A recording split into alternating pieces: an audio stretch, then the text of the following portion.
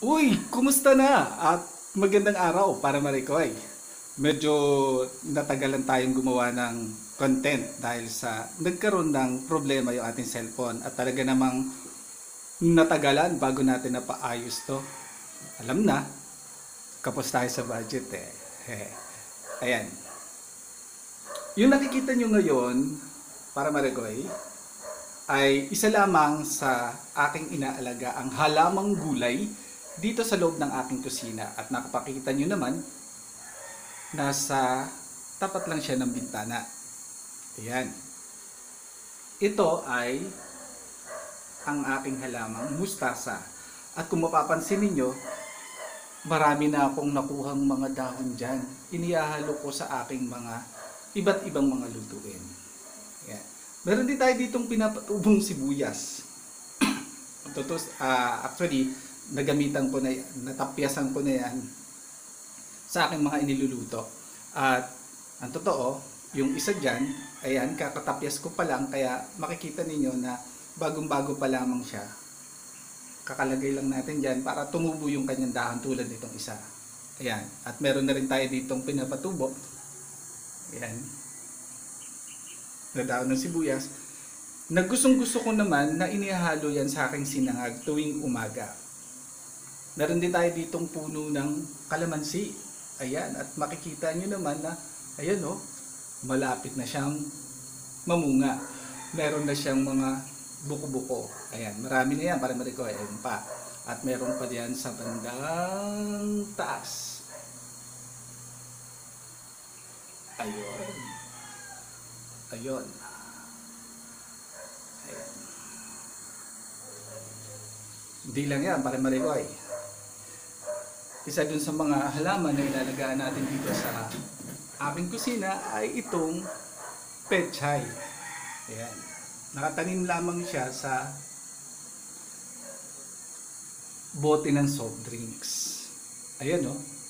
Kita nyo naman, lumalabas na siya sa uh, sa itaas ng kanyang pinakapaso.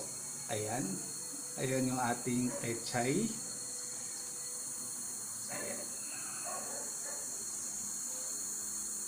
At meron din tayo dito. Ayan. Ano yan para malito? Kangkong. Tama ka. Meron din tayong kangkong. Isa yan sa mga paborito kong inihahalo sa aking mga lutuin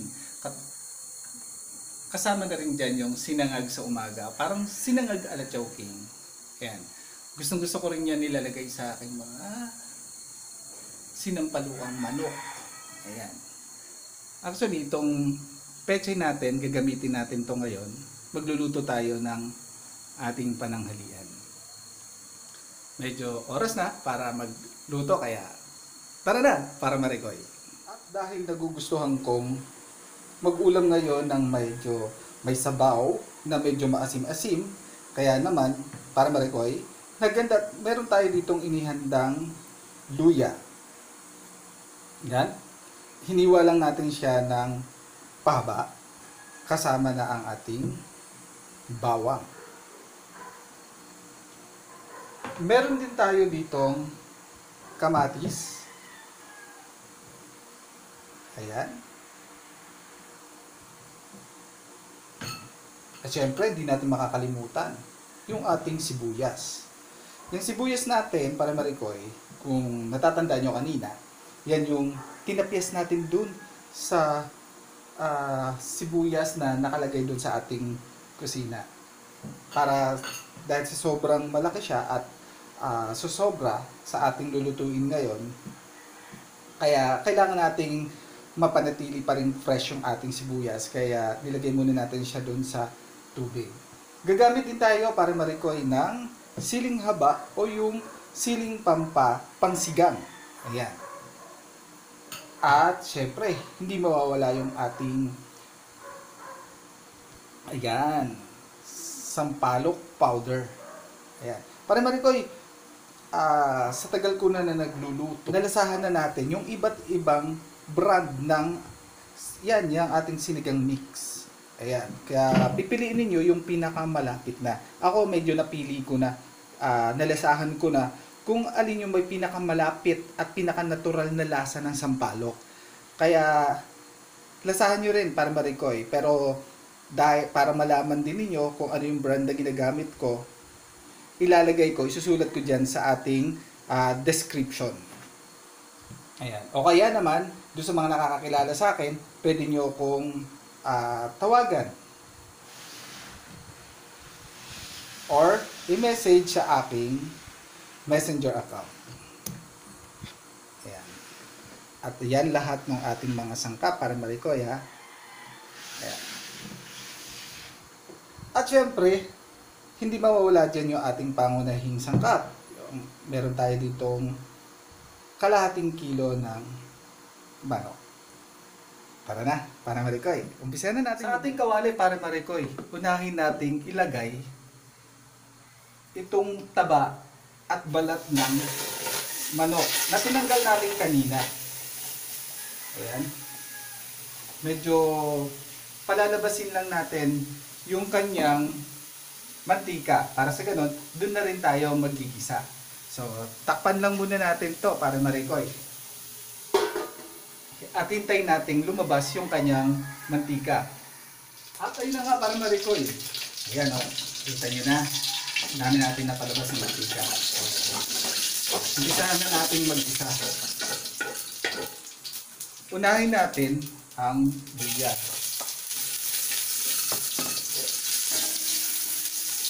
Ayan.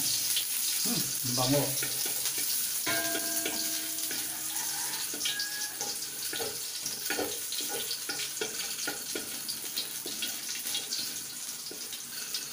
Ayan. Huwag natin masyadong pakalutuin o patutungin. Susunod na natin kaagad ang ating bawang.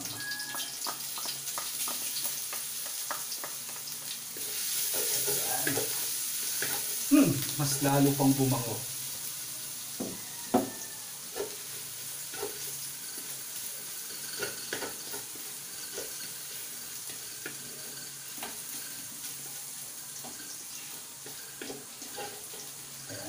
Yung ating bawang, medyo hintayin natin medyo pumula-pula ng konti. Ayan. Pero huwag nyo namang patututungin para malikoy. Hindi na maganda. Ayan. Pwede nga yun yung kapag naamoy na ninyo yung yung aroma niya. Ayan. Pwede nyo lang isunod yung susunod na sangkap. Yung ating sibuyas. Ito yung sibuyas natin na tinapyas natin kanina. Ayan, tinapyas natin dito kanina. Ayan, no? Yung nati, dahil nakita natin na malaki at marami naman yon ayan, at least itong sibuyas natin, magagamit pa natin sa susunod nating mga lutuin.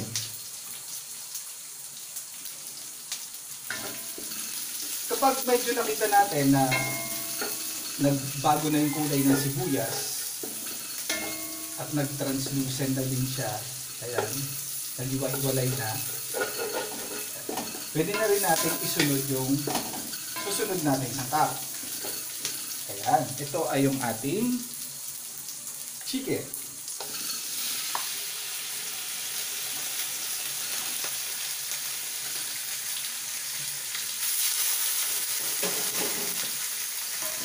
Hindi natin para ito eh. Para para magsama-sama talaga yung lasa at yung mga nauna natin sangkap pumasok naman yung kanyang aroma dun sa laman ng chicken natin. Ayan.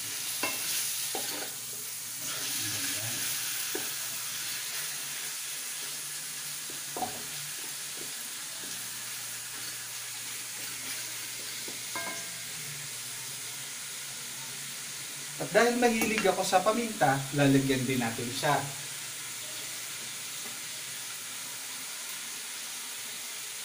ng pinong paminta. Ayan. Ikalat lang natin. Siguraduhin natin na malagyan lahat ng ating chicken. Medyo marami ako maglagay ng paminta para marikoy. Kasi favorite ko talaga yung lasa ng paminta. Lalo na kapag ang niluluto ko ay mga karne. Gusto ko yung nalalasahan ko yung paminta.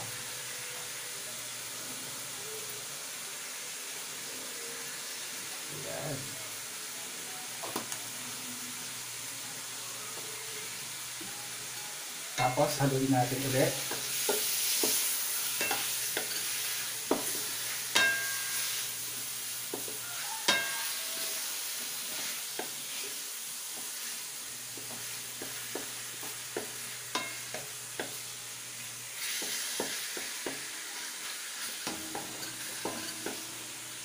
Ayan. At takpan muna natin siya para marikoy ha. Para masipsip muna niya yung ah, masipsip muna ng laman ng chicken yung lahat yung mga pauna nating pampalasa. Ayan. Balikan natin. Takpan muna natin para marikoy. Tapos maya maya balikan natin. Ayun, para marikoy. Tingnan natin kung ano na nangyari sa ating mga ginisa. Ayun. Lumabas na yung sarili niyang tubig. Ayan. Medyo naiiga na yung tubig ng chicken.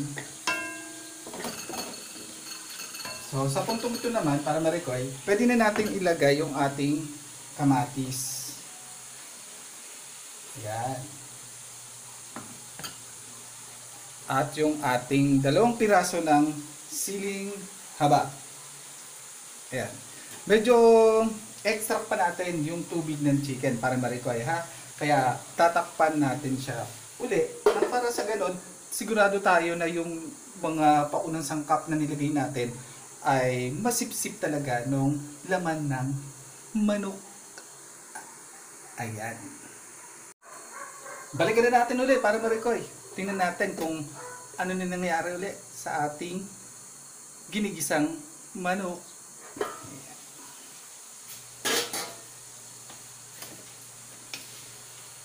Ang napakabango ah. Yung pinagsamang luya, bawang, sile, no? Sino sa inyo yung nakaka-connect? Yung bang-bango rin kapag nagluluto kayo para ma-record. Comment down niya. Ayan. Diba? Ang sarap, ang sarap sa pang-amoy. Naamoy mo pa lang parang mm, ginugutom ka na. Ayan. Oras na para maglagay tayo ng tubig para ma-record. Ayan. Lagyan natin ng dalawang tasa ng tubig. Ayan.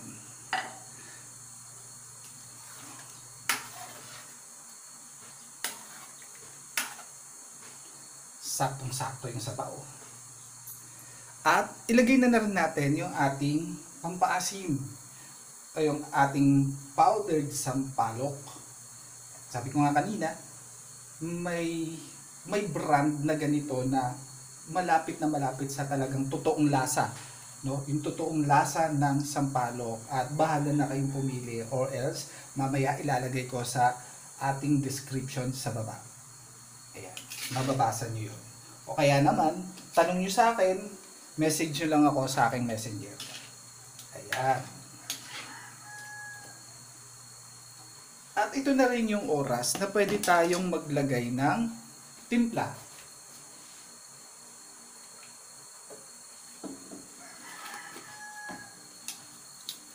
Ang gagawin natin pampaalat ay patis. Ayan. Lagyan natin ng dalawa. Mamaya na natin dagdagan kapag kulang pa. Eh, pwede naman natin i-adjust yan. Ayan. takpan lang muna natin ulit para marikoy para mas maluto pa yung ating chicken. Balikan natin siya. Ayun.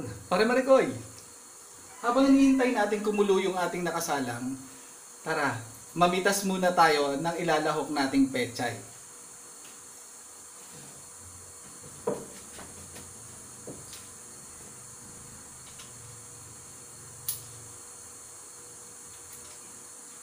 gamit ang ating gunting. Ayan. Titesting natin yung yung mga nasa bandang ibaba. O nasa bandang ilalim na ah oy bakit nasasama ka? Ayan. Pahingi po ng dahon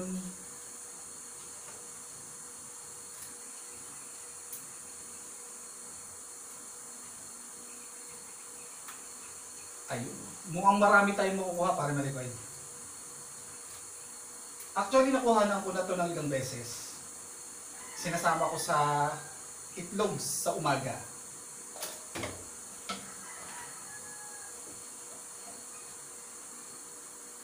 Ayan. Ito yung pinakamalaki sa lahat. Tanggalan natin.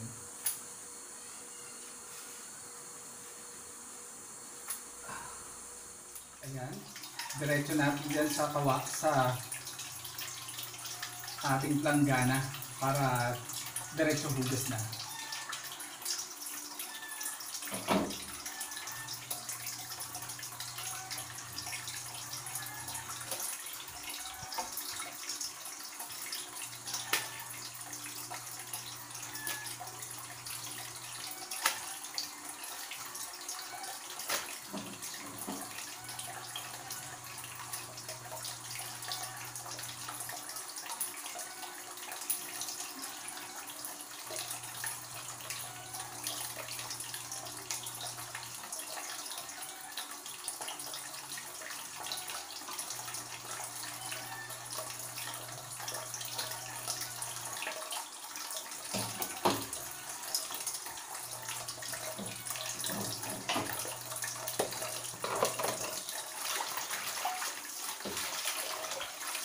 Ito, para na record, fresh na fresh.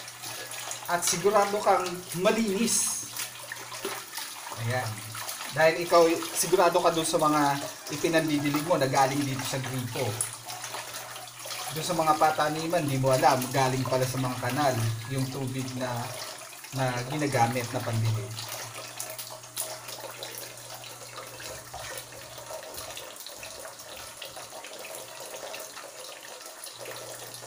Ayan, pa. Medyo marami kami tayong nakuha para marigoy.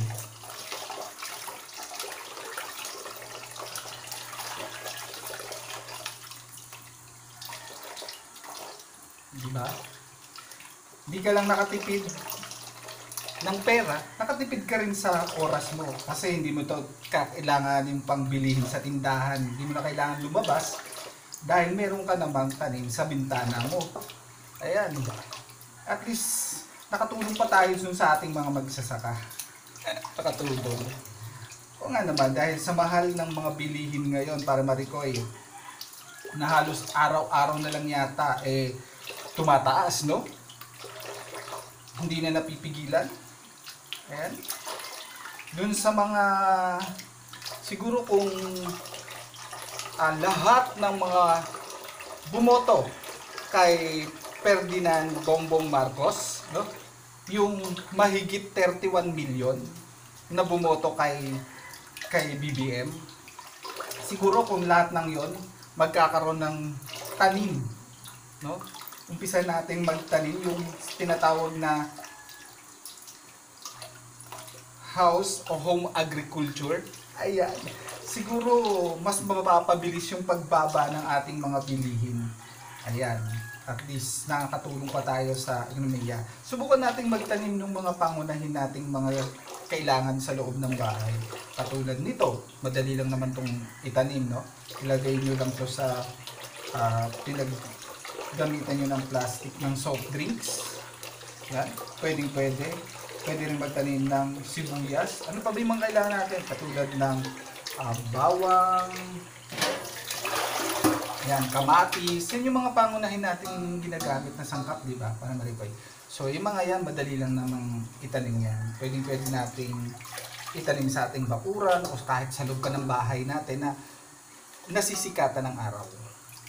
So, tulad yan, ng mga tanim kong yan, Diyan lang kasi ako nakakaranas ng sikat ng araw. Kaya, imbis na mainis ako, Eh, ang ginamit natin yung sikat ng araw. Hatiin lang natin to para marigoy. Ayan. Para pwede natin unang ihulog itong mga tangkay kasi mas mabilis maluto itong dahon. Ayan. Siguro pwede na tayong maghulog nitong gulay. No? Ayun na nga pare Marikoy. Kita nyo naman, kulong-kulo na. Pwede nating ilagay yung tangkay ng pechay na hinarvest lang natin dito lang.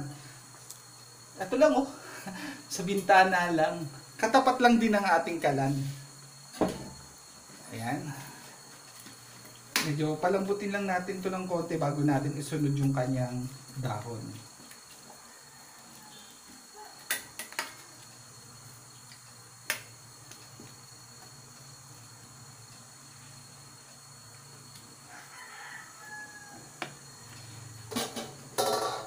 Tapan muna natin ulit para marikoy.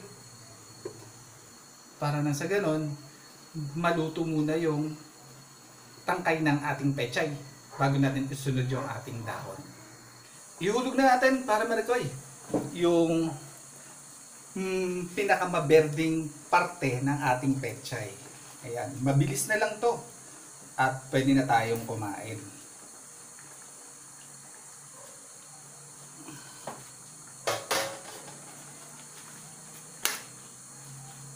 Ayan. Hmm, napakabango. At talaga namang nakakagutom ang kanyang halimuyak. Ayan. Tapos,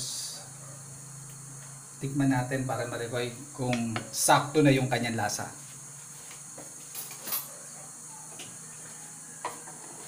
Dahil kung hindi pa, pwede naman tayo magdagdag.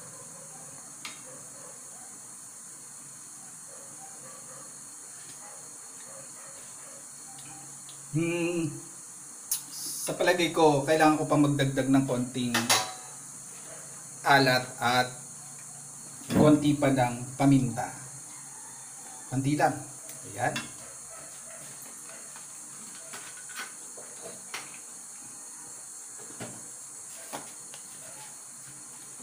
At konti pang paminta. Ayan.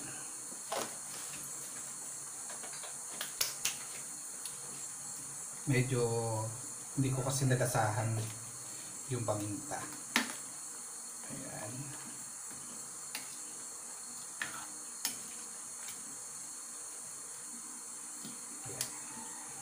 Ayan. Natin ulit.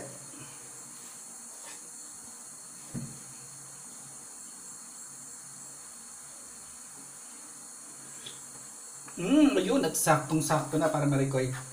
Balancing balanse yung alat, yung asim, no? Kaya piyado gagana na naman tayo ng pagka ng kain natin na to, no?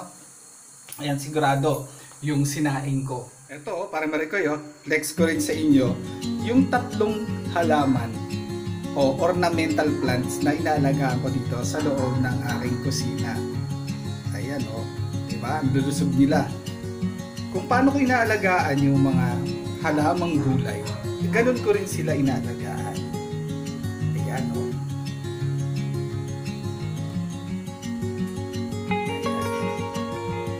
Oh, ganda, di ba? Ito na yung ating kangko. Kawawa naman yung ating mga pechay na kalbo. Ayan.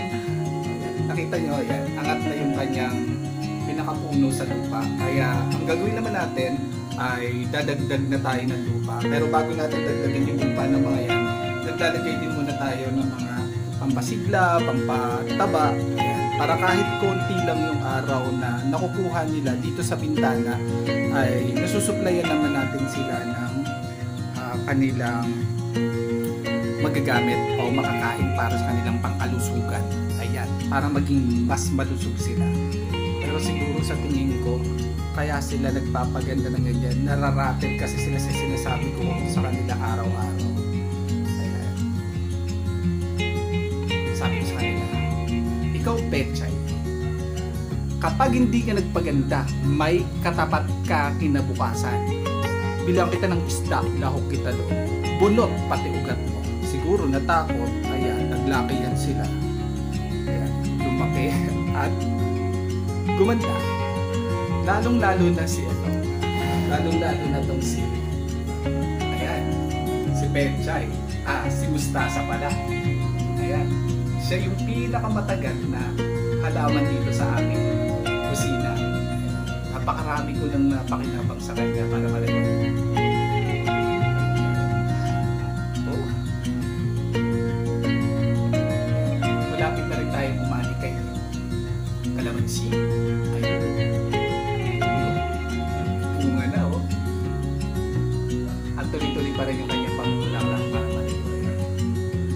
Ginagamit kong lupa at yung mga pampataba na mga napapanood ko sa YouTube, ginagawa ko rin.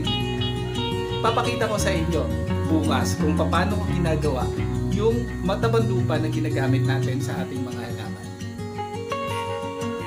Ano yung totoo para pareho? Ang totoo, ito lang naman yung gusto kong ipakita sa inyo sa content ko ngayong araw. Kaya, ayan, nakita ninyo yung aking mga dahil ginugutom na tayo, hanggang dito na muna yung aking content. Bye-bye tayo sa mga susunod na mga videos natin. Kita-kita tayo para maregoy. Ciao, ciao!